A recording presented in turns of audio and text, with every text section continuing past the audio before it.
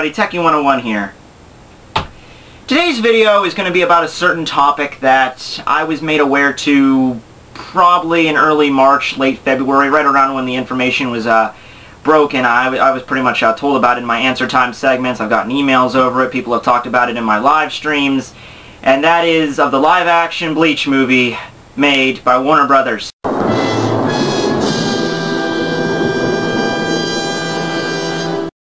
And for those of you who have not heard this news yet, no, I am not screwing with you, nor am I starting an alternate dimension fan fiction.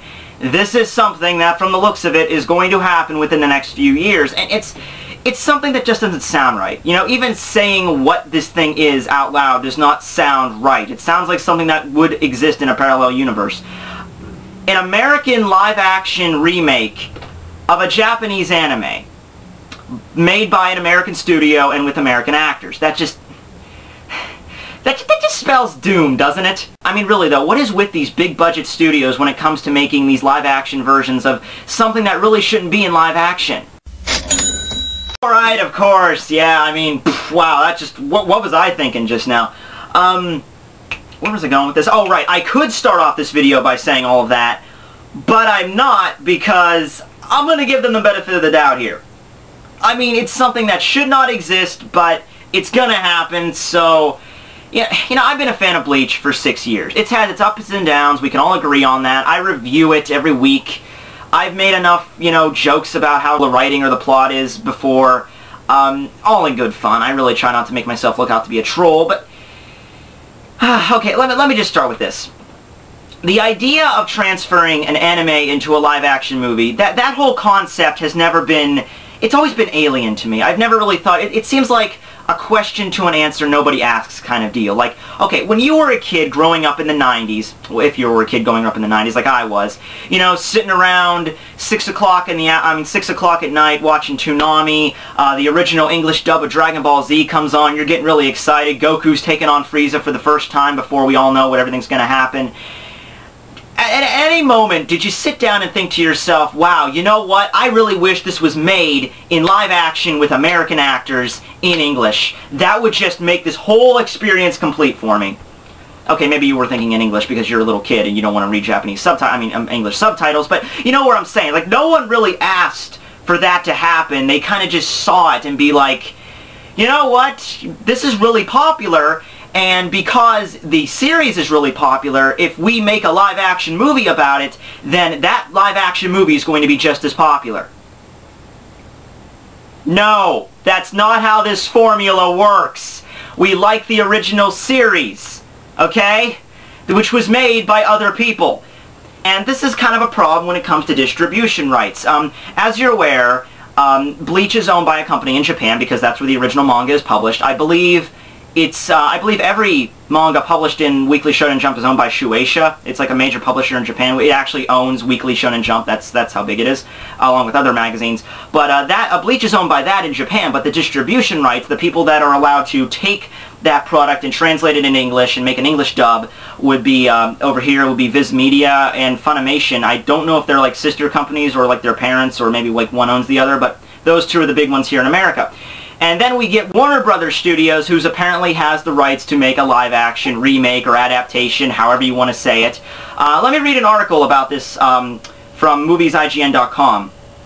Bleach has built a huge international following in its manga and anime formats, and we're excited that Warner Brothers shares our belief that Bleach can also become a fantastic live-action film. Uh-huh. Bleach is an exciting opportunity to mix Japanese and Hollywood storytelling.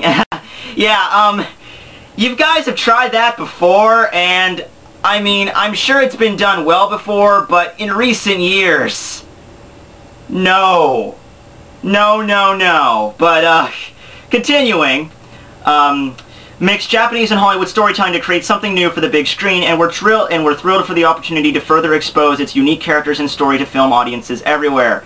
Okay, so after my fans told me about the whole situation that there's going to be a live action movie made by Warner Brothers, at first I didn't believe it. I honestly thought it was a joke, but then I did some research. This was the article I first read when I was reading about, you know, what was going on. And so far, I'm okay with it. I mean, I'm not, you know, way overexcited like, you know, oh yeah, I'm really excited for this piece, this masterpiece that's sure to uh, emerge, but, you know, they've done this before, and like I said, it's sometimes it's hit or miss. It, usually it's miss, but whatever, you know, okay, we're good so far. And then we get to the people that um, are thinking about directing and uh, producing the film, and um, this is the part that really started to concern me. First we have Peter Segal. Now, um, I've heard this name thrown around before. I didn't really know much about the guy. I know he was a director. I didn't really, you know, know much more about that. So I did a little bit of research on him. And uh, here are some of the films that he has directed over the years. 50 First Dates, starring Adam Sandler. Anger Management, starring Adam Sandler. And The Longest Yard, starring Adam freaking Sandler. you know, um, if I ever thought I had to make a Venn diagram with one being Adam Sandler movies and the other one being Bleach, I always thought that that Venn diagram would never even come a light year from interjecting, but apparently they do. Okay, you know, I'm giving you guys the impression he only directed Adam Sandler movies. He has directed other stuff. Uh, he directed Get Smart in 2008 with Steve Carell. I really like that movie. Great actor, Steve Carell. Really funny.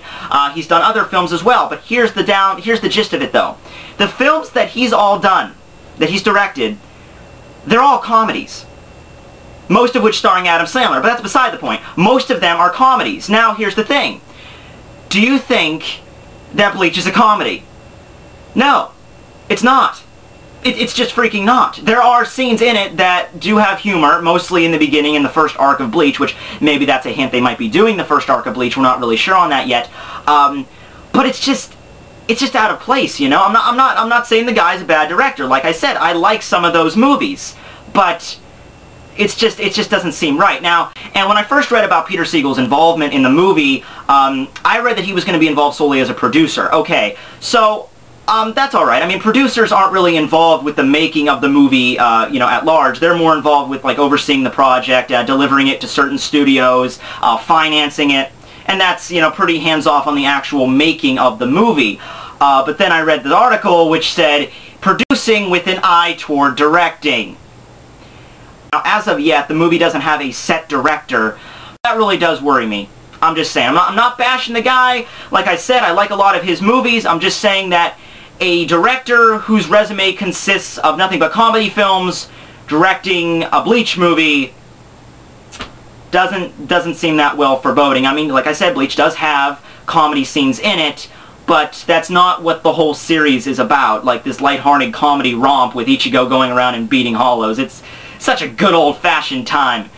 Except for that time Ulquiorra blew a hole in his chest, or that other time that Toshiro stabbed Momo in the heart, or that other time when uh, Rukia was about to be executed. Yeah, that's really goes at my funny bone there, doesn't it? There is a little bit of hope. that the boat has not completely sunk yet. There is a man that is in charge of the uh, screenplay for the film, and uh, I'm not, forgive me for pronunciation, it's Dan Mazu, or Mazu, sorry about that, uh, whose resume includes, among other things, Wrath of the Titans. Okay, this is something I'm a little bit more excited about. Granted, it might not be exactly what I think about when I think of Bleach, but when I have a choice between this or this when comparing to Bleach, I'm probably going to pick the latter one. Alright, this is good. We're not completely sunk yet. This is not bad. Um, the rest of the article just focuses on explaining exactly what bleach is to the, uh, the general public, as well as explaining you know the sales and stuff in America recently, how like the, it is exploded in terms of a cultural phenomenon over here. And you know that's another point though, the fact that bleach is not um, a huge successful phenomenon in Japan as it once was, and yet is growing in popularity over here in, in the States, maybe that does mean we should be, you know, making a live action version of it, you know, just for the sake that it's more popular here. Maybe that's a thing. Um, like, I, I have seen other live-action versions of anime, and I remembered liking them. The Death Note, uh, I remember the Death Note live-action adaptation. That was a really good work. Uh, I even like the English dub of it, and, and in fact, I like the English dub uh, pretty, I, like, I, like, I like the story, but I also liked how they actually got the English actors that did like Light Yagami and L, they got them for the movie to dub over the actors' voices. Like they got the characters from the anime to actually dub over the live action, which I enjoyed, like the Death Note movies. Um, but I, I, think like the reason I like the Death Note movies more is because it's more of a realistic setting. Like the actual anime, I mean, supernatural stuff does occur in the anime, but not nearly as supernatural as like Bleach with, you know, you know, Ichigo firing off like energy beams at a giant huge hollow monster, you know, or, you know, people firing laser beams or stuff. You know, the, the most supernatural you get in Death Note is just Ryuk, or like seeing the Shinigami world and stuff. But it, it, it works in live action, do you know what I mean? Um, then again, the Death Note live action film was made in Japan, where they have a little bit more respect and uh, appreciation for anime, you know, instead of the uh, culture over here in America, you know, for the most part anyway. I know, I know there's people that actually do care about, you know, anime and stuff over here in America, but once again, Dragon Ball freaking Evolution. It's kind of interesting though, you're like, what would happen if uh, we Americans made an English adaptation of Death Note? We'd probably try to shove in some, I don't know, cultural phenomenon to make it more relatable. Oh, wait a minute. I actually have a great premise for that right now. The Death Note plus Facebook. I'm a genius. I'm a genius. I deserve, I want to be, I should be the director. I should be the director of that movie. So that's all we have um, at the moment. The information on the film is extremely limited. Like I said, the the announcement just came, um, you know, in February of this year, very recent. Uh, the screenplay isn't even, you know, probably close to being finished yet. Another interesting thing I read, though, is that they had the rights to uh, to make a movie like Bleach for I think about two years, but they didn't. Uh, maybe because that's what maybe they were thinking like, oh, maybe we shouldn't. Maybe we should just leave well enough alone. It's a popular series in America. People are buying the volumes. Maybe we should just leave it the way it is. And maybe now that popularity has increased, it's just a natural progression. Um, so, you know, like I said, I have my concerns, but also I have my hopes that because this is such a like a cultural phenomenon and, and such a big thing over here, maybe they'll actually listen. Maybe they'll actually pay attention and make something that's pretty decent.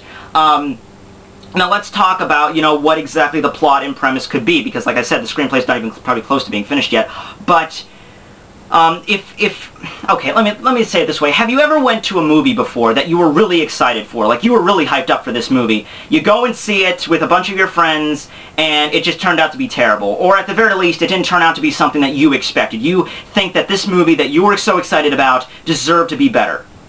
And when you're walking out of the theater, either you or your friends say, you know, oh, I could have made a better movie. And you know what I would have done if I made that movie? I would have done this instead of that. I would have had the story take place here instead of there. And, um, you know, you always have that conversation, like what you would have done different with the movie instead of, you know, what they actually did. So uh, let's have this conversation now before the movie even is created, really. Like, if you are a fan of Bleach in America and you're told to make a live-action Bleach movie, what would you do? Would you start at the beginning of the series? Would you start at the uh, the the substitute arc? Would you start in the Soul Society? Which characters would you include? Um, and, and that, that's another thing too. Uh, like like who would you include in this movie?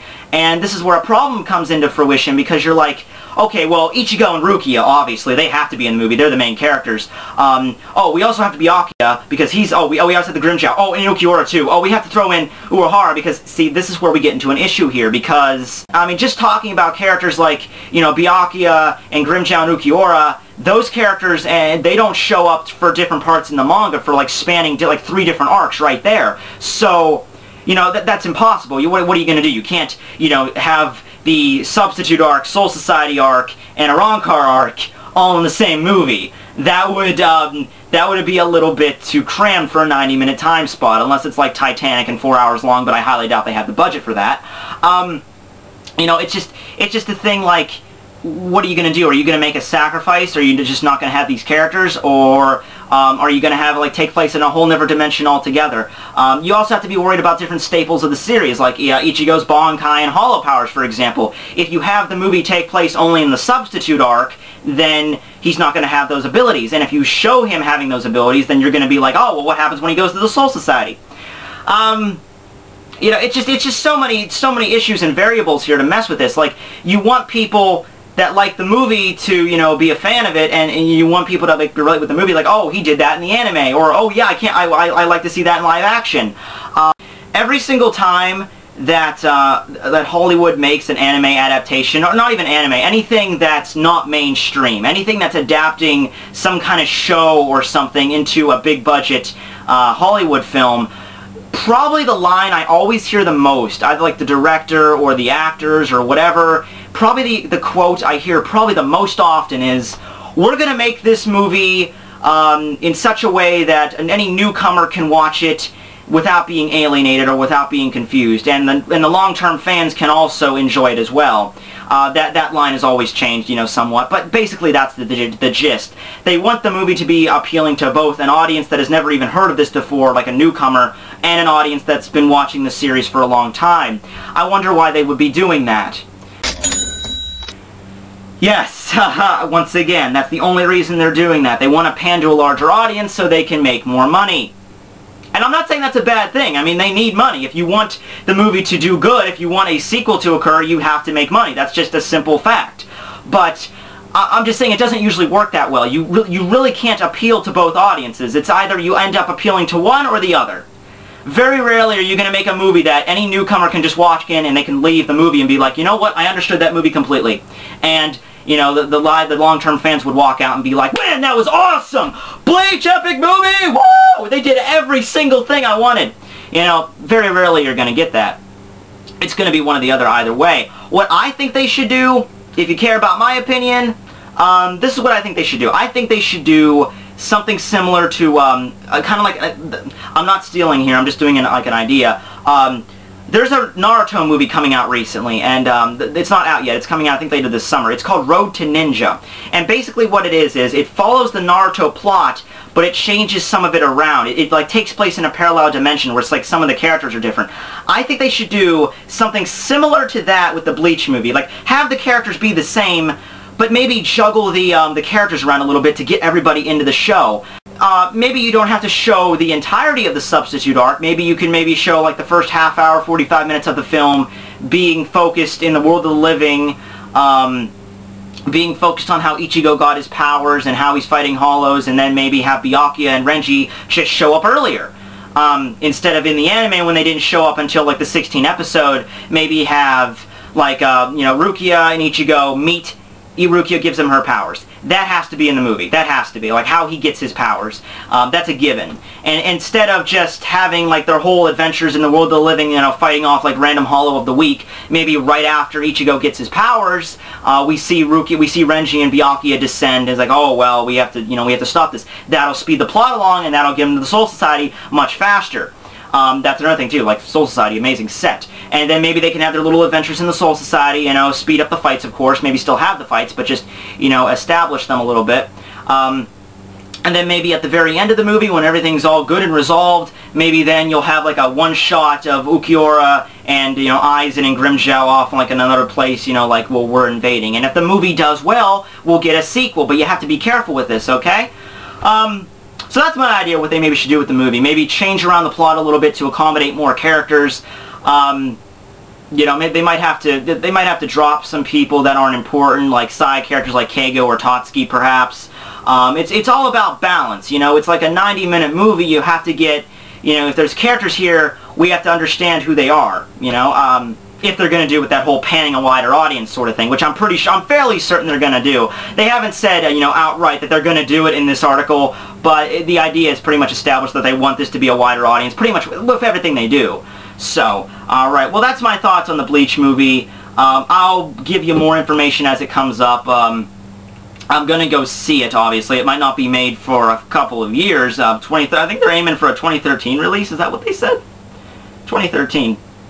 If, it, if it's going to be 2013, it's going to be near the end of the year. It's probably going to be like a Christmas or something release because uh, depending on how long it takes to get them there. But uh, anyway, so uh, thanks for watching the video. These are just my ideas on the film in general. Uh, so yeah, there you go. Tekking101 signing out.